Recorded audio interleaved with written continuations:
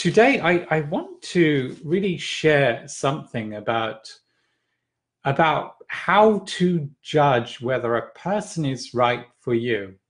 Now, I, I know many of you think about judgment perhaps is wrong, and I, I really don't think that's a, I don't think it's a wrong thing to to judge people, especially if they're in your life.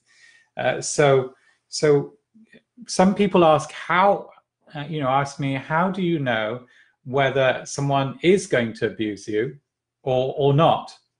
And I, I normally share with people things like you know you, you can tell by their actions and whether their actions meet their words. And if the act, their actions coincide uh, with their words then you know that those people are likely to be authentic whether they abuse you or not is, is totally different but at least you know their words are more likely what they say is more likely to be believable now i remember very clearly like uh, in my younger days, I used to be attracted to the the kind of words that people say. They would tell me how great they were, how fab they were. But today, you know, now that I'm so much older, I'm a bit wiser to that. And it doesn't matter how many photographs they show me of themselves and celebrities and how wonderful they say they are. I I I don't like to engage with them instantly I want to see their actions, how they how they treat people, how they uh, how they follow through in what they're what, what they're saying from their words.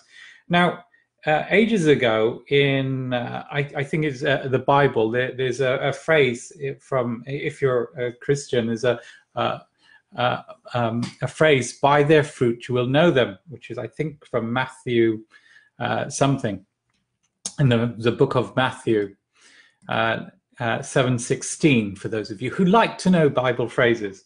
By their fruit you will know them. Now, that was written in a time when you had a lot of these kind of stage speakers uh, and they would be saying and preaching the word. Uh, they were called Pharisees and Sadducees and, and, so on. So they were the religious people of, of the day. And as some of you who've read the Bible know, know the Bible is an incredibly um, filled with knowledge of of how to be successful in business and and in relationships and so on. And they were obviously speaking and preaching from this.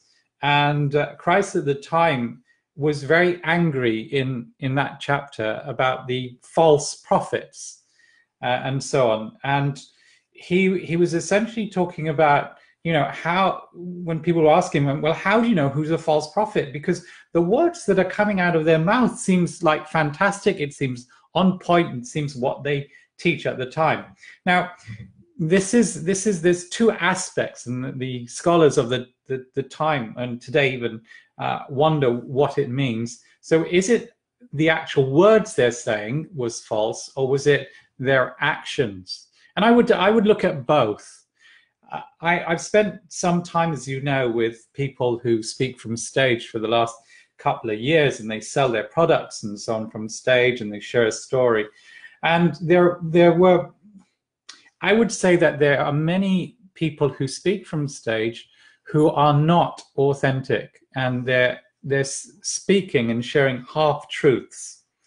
In other words, it sounds good, it sounds brilliant, like get out of your comfort zone. That's the, the thing that's going to help you be successful.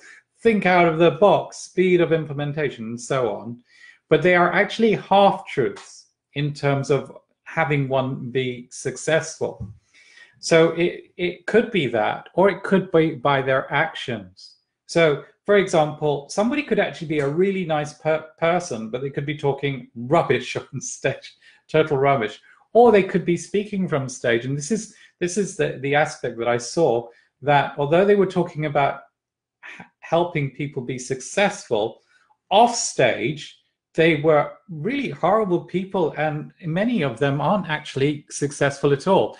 In fact, they've they've ripped people off.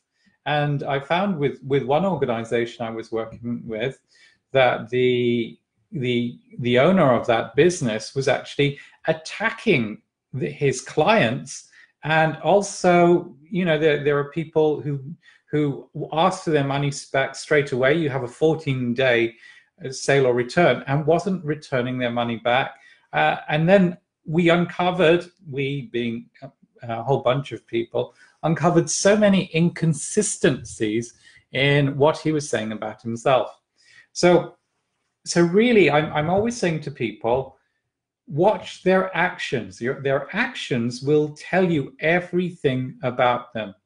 I'll give you some like just normal everyday examples. Uh, for example, if someone's constantly talking about helping people, so in the property world and in the business world, I, I, always ask people, why do you want to make all this money? I mean, why not just get a job and be happy, work nine to five, not stress about accounts and working five billion hours to to to be whatever successful means.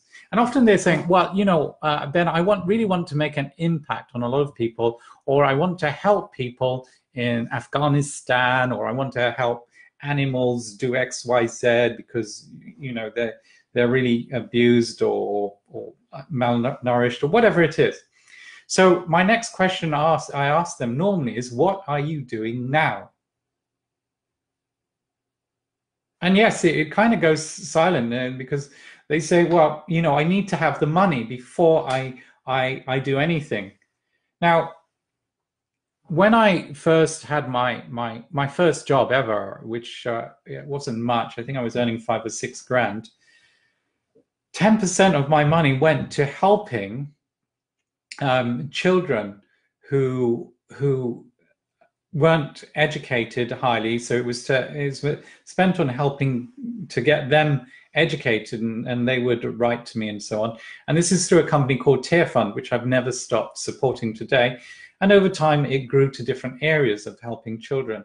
Now, right from the beginning, is my point is that I was helping children, whether I had money or not. And that's what I look for. If people say, you know, I, I, I want money to do this and this and this, I'm thinking, okay, let me see what you're doing in order to, if you like, um, if that's what you really want to do, help children, what, what are you doing right now to help them? And that again is looking to see whether their words are matching their actions. Because here, here's the thing, it doesn't suddenly work like this. I make tons of money and now I'm going to go and help children. And it just never does. It normally happens because, oh, I need more money to do X, Y, Z with the children I'm working with right now. The second thing is you wouldn't have had the habit created of helping children if that was your goal or helping abused women or whatever the, the goal was um, in your life if, if you weren't already doing it today, right now. So, so those are uh, uh, uh just a few of the stories there was a there's a guy I went to school with actually. He's he's always asking me to invest with him. He'd send me a new project project and and, and say, "Hey Ben, will you invest in this?" And you know, the first time he did this, I, I, I didn't invest with him, but I did think about it. And then he did it a second and a third and a fourth time, and I was thinking, you know, I don't think you're really like successful at, at things and, and it feels like you're ripping people off.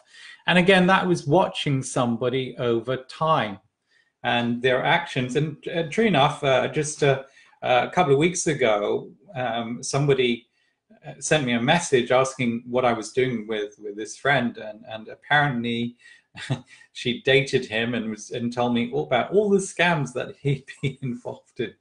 So again, watching people with their actions. I know I could just tell you right at the beginning, look, if you want to to know whether these people should be in your life, watch their actions. But it, sometimes it goes deeper than that.